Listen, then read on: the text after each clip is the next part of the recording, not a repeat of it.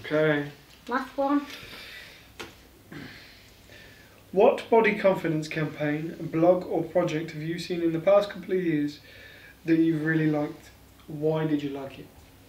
So I did an amazing shoot for um, Hey Girl magazine, Mhm. um, which just basically celebrates diverse women, and that was great because when I did that, um, the emphasis wasn't on my disability; it was just me being Yeah. an amazing woman, if I can say Oh, that. Out. Um, and I believe you've also um, taken part, Yeah, although you aren't a woman. No, no. I, just set case in point, but in in the the realms of equality, the the lovely crew at Hey Girl said we can't be equal if we don't have the boys there as well.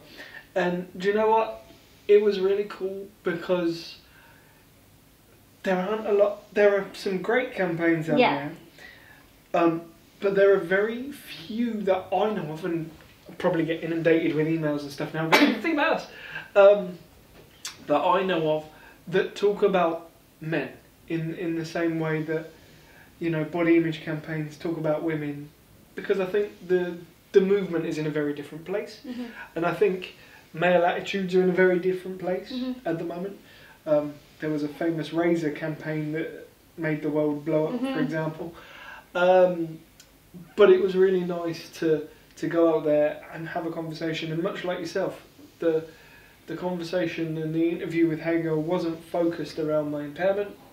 It was just focused around me as a person, and oh, by the way, the the, the impairment is there, so that's that's pretty cool.